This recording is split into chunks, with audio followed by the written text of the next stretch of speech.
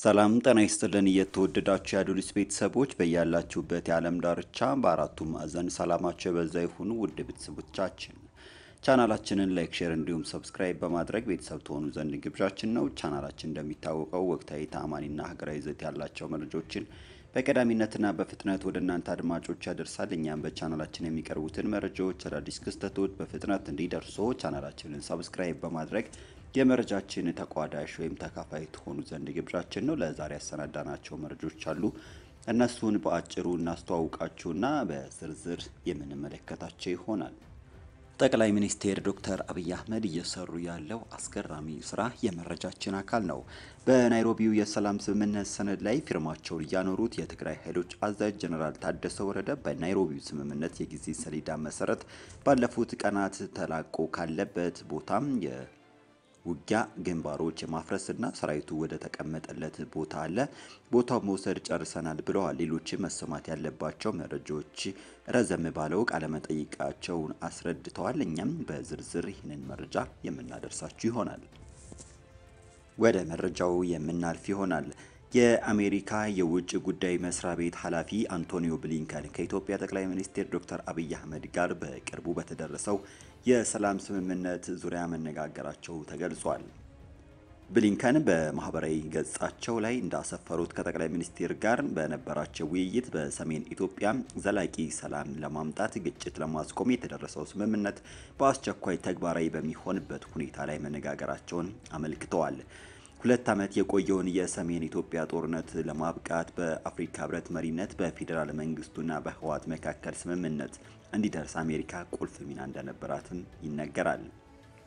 ውይይቱን በሚመለከት ከጠቅላይ ሚኒስቴር ጽህፈት ቤትም ሆነ ከኢትዮጵያ መንግስት በኩል እስካሁን እየተባለ ነገር የለም። በጠቅላይ ሚኒስቴሩና በውጭ ጉዳይ ኃላፊው መካከል በሰሜን ኢትዮጵያ ሰላም ለማስፈን እየተደረጉ ባሉ ጥረቶች ዙሪያ ውይይት መደረጉን የአሜሪካ የውጭ ጉዳይ መስሪያ ቤት በወጣው መግለጫ አረጋግጧል። በዚህም የኢትዮጵያ መንግስት ወደ ትግራይ እንዲሁም ወደ አጎራባቹ የአማራና የአፋር ክልሎች ያልተገደበ ሰብአዊ እርዳታ እንዲደርስ በተጨማሪም መሰረታዊ አገልግሎቶች እንዲጀመሩ ለማድረግ እያከናወነ ስላለው ብሊንከን እውቅና ሰጥተዋል ብለዋል። በውይይቱ ላይ የውጭ ጉዳይ መስሪያ ቤት ኃላፊው አንቶኒዮ ብሊንከን ሁሉም የውጭ ኃይሎች ከአገሪቱ እንዲወጡና የትግራይ ኃይሎች ትጥቅ መፍታት በአንድ ላይ እንዲከናወን ማድረግ ጨምሮ የተደረሰው ስምምነት በቶሎ ተግባራዊ የመደረግን አስፈላጊነት አጽንኦት ሰጥተዋል ብለዋል። በተጨማሪም አሜሪካ በአገሪቱ ሰላም ለማምጣት በአፍሪካ ህብረት አማካይነት የስምምነቱን አፈጻጸም በተመለከተ የሚከናወነውን የቁጥጥርና የማረጋገጥ ተግባር ጨምሮ በህብረቱ ጥላ ስር ያለውን የሰላም ሂደት እንደምትደግፍ ብሊንከን ብሊንከን ማረጋገጣቸውን መስሪያ ቤታቸው አመልክቷል። በትግራይ ውስጥ የተጀመረውን ጦርነት ተከትሎ ግጭቱ በውይይት መፍትሄ እንዲያገኝ ጥረት ሲያደርጉ ከቆዩት ወገኖች መካከል አንዷ የሆነችው አሜሪካ ጉዳዩን በቅርበት የሚከታተል የአፍሪካ ቀንድ ልዩ መልእክተኛ መሰየሟ የሚታወስ ነው። ባለፉት ሳምንት አንድ የአሜሪካ መንግስት ከፍተኛ ባለስልጣን እንደተናገሩት አገራቸው በአካባቢው ሰላም እንዲሰፍን ጽኑ ፍላጎት እንዳላትና በኢትዮጵያ መንግስትና በህወሓት መካከል የተደረሰውን ስምምነት በሚያደናቅፍ የየትኛውም ወገን ላይ አሜሪካ ጠንካራ ማዕቀብ እንደምትጥል ገልጸውም ነበር።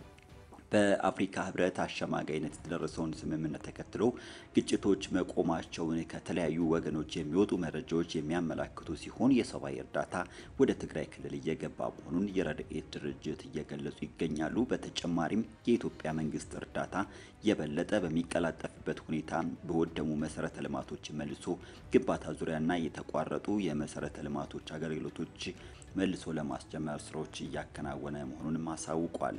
ሁለት ዓመት የዘለቀውን ደም አፋሳሽ ጦርነት ለማብቃት በፌዴራል መንግስትና በህወሓት መካከል በደቡብ አፍሪካ ፕሪቶሪያ በተደረገው ድርድር ጦርነቱ በዘላቂነት እንዲቆም ያልተገደበ የሰብአዊ እርዳታ እንዲቀር፣ መሰረታዊ አገልግሎቶች እንዲጀመሩ፣ የትግራይ ኃይሎች ትጥቅ እንዲፈቱ በሚያስችል ቁልፍ ጉዳዮች ላይም ጥቅምት 23 2015 ከስምምነት መደረሱ ይታወሳል። በተጨማሪም የደቡብ አፍሪካውን ስምምነት ለማስፈጸም የሚያግዝ ቀጣይ ውይይት በኬንያ ናይሮቢ ከተደረገ በኋላም የሁለቱ ወገኖች ወታደራዊ አዛዦች በስምምነቱ ዝርዝር የአፈጻጸም ሂደት ላይ ተስማምተው ህዳር 3 2015 የትግበራ ሰነድ ፈርመዋል። ወደ ሌላኛው መረጃችን እናልፋለን። በናይሮቢው የሰላም ስምምነት ሰነድ ላይ ፊርማቸውን እያኖሩት የትግራይ ኃይሎች አዛዥ ጀኔራል ታደሰ ወረደ በናይሮቢ ስምምነት የጊዜ ሰሌዳ መሰረት ባለፉት ቀናት ለኃይሎቻቸው orientation ሲሰጥ እንደነበረ እና ይኸውም orientation በቀጣይ ሁለት ቀናት እንደሚያልቅ ገልጸዋል። ይህን የገለጹት በክልሉ ለሚገኙ የመገናኛ ብዙኃን በሰጡት መግለጫ ነው። ጀኔራል ታደሰ ወረደ ምን አሉ? በናይሮቢው ሰላም ስምምነት ጊዜ ሰሌዳ መሰረት የመጀመሪያው ከሰራዊት ጋር መግባባት ነው። ስለ ሰላሙ ጉዳይ አጠቃላይ መግባባት መፍጠር ነው። orientation phase ህዝቡ ጋርም ማለት ነው። ምክንያቱም ህዝቡ ማወቅ አለበት፣ ሰራዊቱ ማወቅ አለበትም ብለዋል። ቀጥታ ከኛ ጋር ከስራችን ጋር በተያያዘ ከሰራዊቱ ጋር እየጨረስን ነው። ከሰራዊት አዛዦች እስከታች ድረስ ስለ ሰላሙ የመግባባት ሁኔታ እየጨረስን ነው ያለነው። ምናልባትም በዚህ ሁለት ቀናት ሙሉ በሙሉ እንጨርሳለን እስከ ታችኛው ድረስ ብለዋል። ከዛም ቀጥሎ ወደ ሰራዊቱ disengage አድርጎ ወይም ተላቆ ካለበት ቦታ የውጊያ ግንባሮች የማፍረስ ሰራዊቱ ወደ ተቀመጠለት ቦታ አለ። እሱን ጨርሰናል። ማን የት ይንቀሳቀሳል የሚለው ወደዛ የማጓጓዝ ጉዳይ ይሄ ደግሞ ተከታትሎ የሚጀመር ነው የሚሆነው። የሎጂስቲክስ አቅማችን ወይም የማጓጓዝ አቅማችን እስከፈቀደ ድረስ በአንድ ጊዜ ልናነሳው እንችላለን። ምናልባትም የተወሰኑ ቀናት ሊወስድ ይችላል ማጓጓዝ። ይሄ ይጀምራል፣ already ጀምሯልም ብለዋል። የመጀመሪያው ስራ መግባባት የማሳመን የመተማመን ሁኔታውን ከጀመርን ጀምረናል ማለት ነው። በዛ ነው የጀመርነው። ይሄ በኢትዮጵያ መከላከያ ሰራዊት በኩልም እንደተጀመረ እየሰማሁ ነው። ከኛ በኩል እየጨረስን ያለነው አንድ ከፍተኛ ስራ ይሄ ነው። ስምምነቱን ከማድረግ አንጻር ኋይ የሚሉ ነገሮች መመለስ ነው። ሰራዊቱን አንድ አስተሳሰብ፣ አንድ እዝ ሆኖ እንዲንቀሳቀስ ማድረግ በቆየበት ማድረግ ነው። ስለዚህ አንዱ ትልቅ ስራ ይሄ ይመስለኛል። ጀምረናል ብቻ ሳይሆን እየጨረስን ነው ያለ ነው። ከዚህ በኋላ የሚቀጥሉት ስራዎች ቀላል ናቸው ብለዋል። ከኛ በኩል ማንኛውም በትግራይ ውስጥ ያለው የትግራይ ኃይል ከአንድ የኮማንድ ስርዓት ውስጥ ሆኖ የሚንቀሳቀስ ግዳጅ የሚፈጽም ነው። ከዚህ ውጪ የሆነ ኃይል የለንም። ከዚህ ውጪ የሆነ የታጠቀ የሚባል ኃይል የለም። ትግራይ ውስጥ ያለው የኢትዮጵያ ኃይል ተመሳሳይ ነገር ነው ያለው። ስለዚህ ከቁጥጥር ውጪ የሚሆን ነገር የሚኖር አይመስለኝም ብለዋል። የስነ ምግባር ደንብ ሊሆን የሚችል ሰላሙን ለማስከበር ስምምነቱን ተግባራዊ ለማድረግ code of conduct አውጥተናል። እያንዳንዱ ይሄ ነው code of conduct እንዲያውቀው አድርገናል። አመራሩም አባሉም ሁለተኛው ስራ ይሄ ነው ከ orientation ጋር በተያያዘ ብለዋል። ኃይል ማንቀ ኃይል ማንቀሳቀሱ ቀላል ነው የሚሆነው፣ አቅም ነው የሚወስነው። ይሄ የሎጂስቲክ ጉዳይ ነው። ስለዚህ ትግበራው ጀምረናል ብለዋል። ከዚህ ጋርም በተያያዘ አንዳንዶቹ በሁለቱም document ኦች ግልጽ ያልሆኑ ነገሮች አሉ።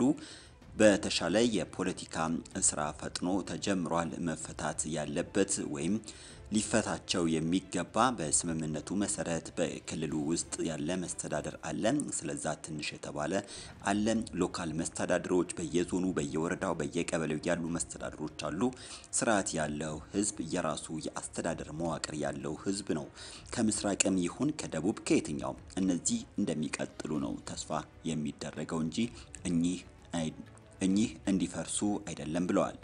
ሰራዊቱ ነው እንጂ disengage የሚደረገው እንጂ ሲቪሎች መስተዳድሩን disengage የሚያደርገው የለም፣ ይቀጥላል። የእነዚህ ደህንነት በሚመለከት መሰራት ያለበት ነገር አለ። የቆየ ፖሊሲ አለ፣ እንደ አደረጃጀት ፖሊሲ አለ። እሱ በቀጣይ የ political dialogue መፈታት ያለበት ጉዳይ ነው ብለዋል። አሁን ላይ disengage ከምናደርጋቸው ግንባሮች አዲግራት፣ ማይጨውና የመሳሰሉ ትላልቅ ከተሞች የዞን መስተዳድሮች ማዕከሎች ይቅርና እነሱ ጋርም ያሉት አክሱምና ሽረ አይነት አዲስ መስተዳደር ይቆማል፣ ይፈርሳል ምና ምናምን የሚባል ነገር አይደለም። እነዛም ሪሴት መደረግ አለበት። የሲቪል መስተዳደሩ የፖለቲካ ውይይት ይሄንን መፈታት አለበት፣ መፍጠን ያለበት ይሆናል። ይሄ በዘገየ ቁጥር ለፖለቲካ ግጭት መነሻ ሊሆን ይችላል። እነዚህ ዝርዝር ነገሮች አሉ። ንጹሑ የ security agreement መተግበር ግን ጀምረናል። በጣም ጥሩ ሆኖ እንዲተገበርና የፖለቲካ ውይይት ፈጥኖ መጀመር ያለበት ይመስለኛል ሲሉ ተናግረዋል። የተወደዳችሁ የቻናላችን ቤተሰቦች ለሰዓቱ ያቀረብነው መረጃ የተከታተላችሁትን ይመስል ነበር። በሌላ መረጃ እስከምንገናኝ ድረስ በያላችሁበት መልካም ጊዜ ተመኘው። ለቻናላችን አዲስ ከሆናችሁ የ subscribe ምልክቱን በመጫን ቤተሰብ ትሆኑ ዘንድ ግብዣችን ነው።